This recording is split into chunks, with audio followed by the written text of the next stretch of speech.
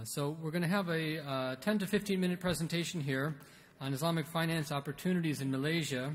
And this is coming from Mr. Nik Mohamed Din Nik Musa, the director of the MIFC promotion unit, which is uh, affiliated very closely uh, with the Central Bank of Malaysia. Uh, so please join me in welcoming now uh, Mr. Nik Mohamed Din Nik Musa. Bismillahir. All praises to Allah, most gracious, most merciful. Um, Your Highness, Your Excellencies, um, distinguished guests, ladies and uh, gentlemen, Assalamu alaikum warahmatullahi wabarakatuh, and a very, very good afternoon. Uh, the challenge I had um, before lunch, having a presentation before lunch, is that when you go into injury time, then you'll be competing with uh, the call to lunch. And uh, now I have uh, another challenge after lunch. If, if the lunch is very good and the view is superb and the company is great, so the, the next challenge is uh, how I want to attract you to uh, and have your complete attention. Um, I'm, I'm very delighted uh, to be here and also excited because this is my first trip to the beautiful city of uh, uh, Oman. And I wish to thank the, the host uh, and the organizers for inviting me to share with you the topic of Islamic finance opportunities uh, in Malaysia. Um, what I want to say from the onset is that I am indeed very encouraged that Oman is uh, gradually as well as uh, rapid, rapidly uh, developing Islamic finance alongside the traditional financial system. If I can show my first slide, allow me to um, allow me to uh, present to you a snapshot of the uh, Malaysian Islamic financial uh, system. Malaysia now, alhamdulillah, has a comprehensive dual financial system uh, the conventional and the Islamic uh, operating uh, hand in hand, and it has been in place for almost 30 years. And um, we have also developed a comprehensive uh, Islamic financial system for the last uh, 30 years. Um, this Islamic financial system is uh, participated by over 20 full-fledged um, Islamic banks, and this is not to mention the window banks. I think we have over over um, there's more than 10 um, conventional banks with Islamic windows. We have more than uh, five uh, invest, investment banks also participating in Islamic finance. There are now 12 takaful um, companies operating in Malaysia. Um, we have four re-takaful or Islamic uh, reinsurance in Malaysia. And there are now 18 full-fledged Islamic fund management companies offering a wide range of uh, products. And this, uh, and this system is supported by a range of professional firms uh, consisting of legal firm, accounting firm, IT firm, and of course, Sharia experts. Um, just to show you um, some figures on the right-hand side, the total uh, assets of the Islamic banking um, system now uh, accounted for over 23 percent of the total banking system. So the, the, the, the, market share has about tripled over the last decade, and the uh, Islamic financial system also now experience, is experiencing a very healthy growth. The risk-weighted capital ratio, or the, um, the, the, the, capital ratio now stands at almost 15%, and we are slightly uh, better than the uh, total average banking system, which stands at about 14.7%. And touching a little bit on the Islamic uh, capital market, about 50% of the total outstanding debt securities are Sharia compliant. So this has been uh, a, phenomenon for the past uh, few years. And about 14% uh, of the AUM of uh, collective investment schemes and mandates are already Islamic. And about 89% of the listed uh, securities on our nation boards are uh, Sharia stocks.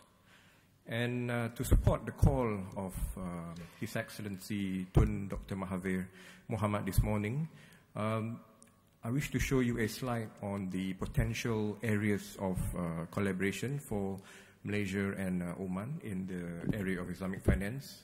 Malaysia, as you all may be very well aware, is strategically located to serve as a uh, platform for Omani corporations and investors as a gateway to Southeast Asia, as, as, well as a gateway to the Asia Pacific and uh, Asia at large. The, specifically on uh, Southeast Asia, the region has over uh, 600 um, million population. So if you were to have a, a, a hub in uh, Malaysia, you have immediately you have this uh, huge market of about 600 million people, and 50% of whom are Muslim, and they mainly reside in uh, Indonesia, Malaysia, um, Thailand, and Philippines.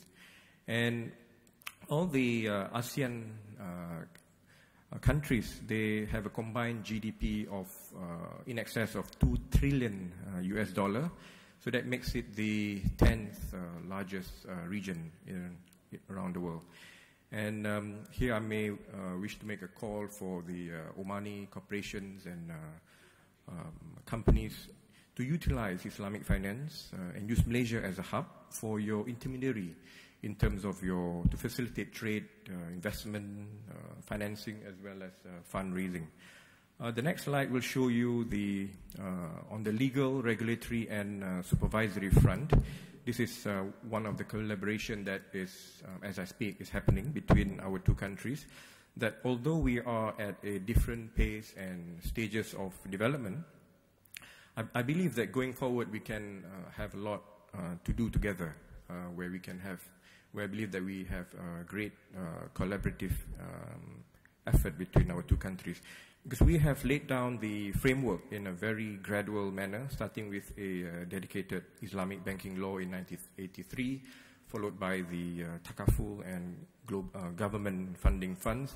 And now we are combining those funds into one omnibus uh, Islamic financial services legislation, and that is currently being uh, tabled in the Malaysian Parliament. And um, later in the 1990s, um, the securities laws, laws were also enacted by the Securities Commission of Malaysia. So as a testimony to the regulatory cooperation, uh, together with the effort by uh, Islamic Development Bank, the IDB, the Central Bank of Malaysia is, and I'm pleased to, uh, to announce that we will jointly host a workshop here in Muscat, Oman, on these topics that I've mentioned, and this is tentatively scheduled to be held sometime uh, early next year, inshallah. Uh, another key area is the greater connectivity that uh, between Oman and Malaysia, and this can be achieved by Omani, Oman companies, Oman players, financial players, to be to have a base in Malaysia, and of course vice versa. Um, at the central bank, we are we are offering a hundred percent foreign-owned international Islamic banking license for your uh, hub uh, in Malaysia. This is to conduct international currency business, and you will enjoy a uh, tax holiday where you don't, uh, where you'll be exempted from, from any uh, income tax.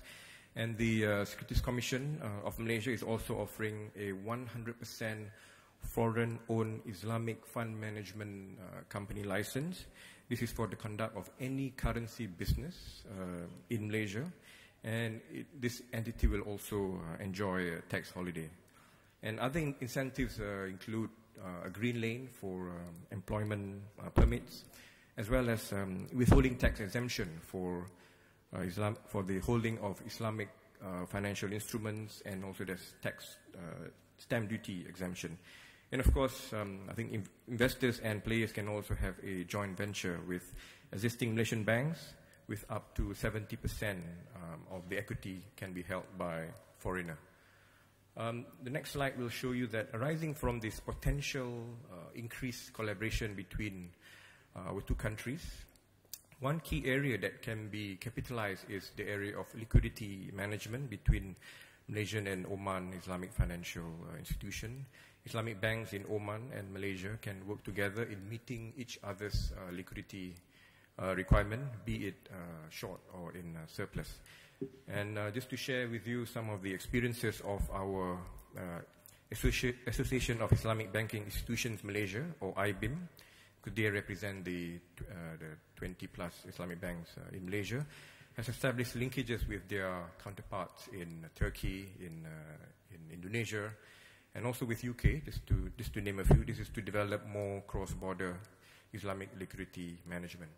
And this is where I believe uh, market players in Oman and Malaysia can collaborate uh, towards increasing uh, cross-border flows and at the same time uh, better manage the risk exposures.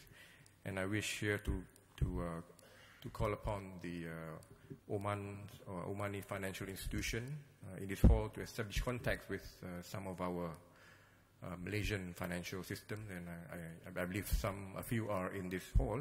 So it will be, inshallah, a good beginning to a very bright uh, future. Uh, next slide is on the collaboration on uh, human capital uh, development, which is again another uh, important uh, collaboration. This is more to support the development of Islamic finance as well as pave the way for more, um, more innovation, product innovation.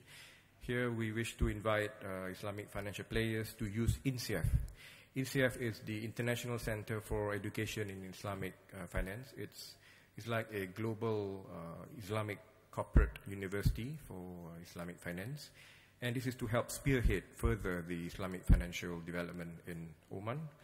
Uh, currently, there are over 1,800 students from almost 80 countries, with the flagship um, professional course called the Chartered Islamic Finance Professional or CIFP being offered online and is alongside um, the PhD as well as the master's program.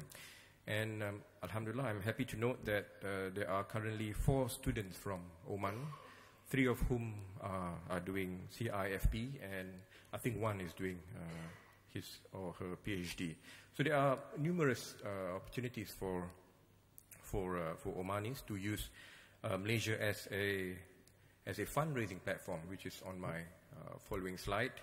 Uh, and this is to facilitate FDIs into, into Malaysia and also to, to Asia, to Asia, where you could use uh, Malaysia as your fundraising uh, platform. As well as, uh, besides for FDI purposes, it could be also for business expansion internationally. And some of the opportunities would include cost effectiveness and uh, swift time, efficient, swift and efficient time to market. Uh, to there is a broad range of innovative um, issuances and a wide range of investor base. Um, I will not go to um, every detail of um, of the of the features, but what I want to highlight is mainly the um, the cost effectiveness of raising a sukuk especially a ringgit sukuk out of Malaysia. So from this, um, from this slide, what I can uh, show you is that many uh, multi, many MNCs, multinational corporations, many MDBs, uh, multilateral development banks, and also um, national corporations, they have preferred to, uh, to issue a sukuk over a bond uh, in Malaysia as, as I said earlier, it is very, very cost effective. And this slide shows that um, there is a cost saving of about four to six um, basis points.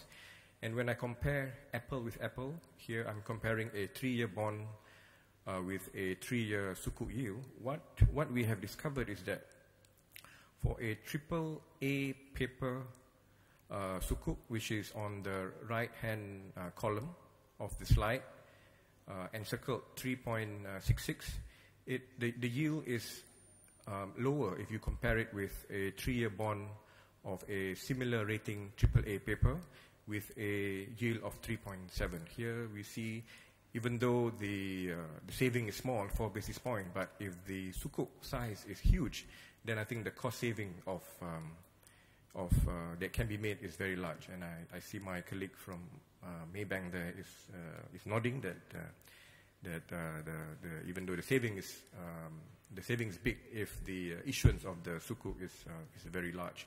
And this is particularly true in the ringgit market, as there is a bigger demand for sukuk over a bond, and that's because the uh, investor base for sukuk is wider than a bond, because for the uh, investor base for sukuk will also include uh, conventional uh, investors. Hence, if you have a bigger investor base for, um, for Sukuk, in this example, it will, you have greater demand and this will bring down the yield. So it will be very, very much cheaper for the, um, for the uh, sukuk, uh, for the issuer to issue a sukuk over a bond. Uh, just to show you some track record in the next slide. Um, so far, the on the left-hand side of the slide, the GCC issuers, which which are the one I particularly would like to uh, highlight, uh, include the Abu Dhabi National Energy Company or TAQA. They issued, uh, I think, about 650 uh, million ringgit uh, sometime early this year. And the other issuers um, from the GCC include the GIC, the Kuwait-based um, Gulf Investment Corporation, the, the, National Bank of Abu Dhabi, the IDB itself has issued a ringgit, if I'm not mistaken, uh, twice in a row. And um, the, the, the Bahrain um, Sovereign Wealth Fund uh, called Mumtalakat, they have a 3 billion program um, in Malaysia, but they have yet to uh, issue. And also the Gulf Investment Bank, um, which I believe is one of the uh, sponsors for this event, they also have a 3.5 billion program. So they can, with this program, uh, they can issue with this program approved by the Securities Commission, and so that so they can uh, issue the sukuk um, at any time, if whenever they so wish. And as you can see from the right-hand uh, slide of the of the chart, uh, we, are, we, are, beginning to see the platform in Malaysia gradually evolving into a multi-currency uh, sukuk platform, where we are beginning to see the US dollar sukuk being issued out of Malaysia, the renminbi, the Singapore dollar, and we hope uh, to see perhaps one of the uh, GCC um, currencies to be issued out of the Malaysian market. And just to highlight one one issuer, which is Axiata, the Axiata, it's on the bottom right column of the of the slide. It is a Malaysian-based regional uh, telecommunication telecommunication company, and they issued a one billion renminbi renminbi sukuk. Um, I think it was last last month, or last two months, and it was very, very uh, well received, where it received a uh, oversubscription rate of about seven times, with Asian investors uh, taking up most of the um, uh, most of the sukuk. So this is just to highlight that uh, Asia uh, is becoming a very important market for the issuance of sukuk, where a lot of the um, um investment comes from the Asian region which, in, which of course includes the, the Middle East. And this is my, uh, my last slide because I promised that I will um, keep it uh, short and brief. Um, of course, the, the, the, list of collaboration between Malaysia and, uh, uh, and Oman is, is, is inexhaustive. There can be many others. But just to highlight you, the, the last one uh, on, on my list is the opportunity for Omani entities um, in the commodity murabaha or tawarruq um, or tawarruq concept. This is where you where you can avail yourself to the um, to the to using uh, Bursa Suq Al-Sila' uh, or or BISAS in short. And this is a uh, multi-currency commodity trading platform which is being handled by the uh, Malaysian boss called the uh, Bursa Malaysia. And it's multi-currency um, and the, the trading can be done uh, online.